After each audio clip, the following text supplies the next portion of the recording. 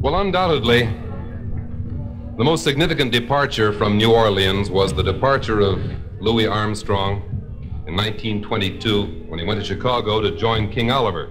But there were other musicians who remained in New Orleans to maintain the honorable tradition of that city's jazz.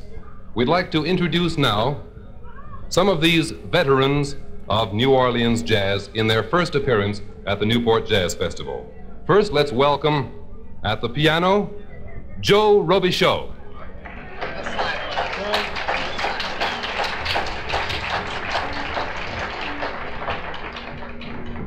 At the drums, Joe Watkins.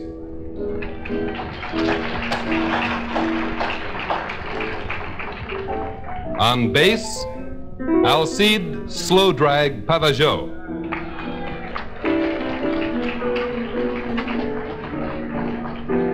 Trombone, Bob Thomas.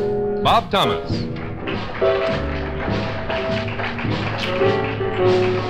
On trumpet, Jack Willis.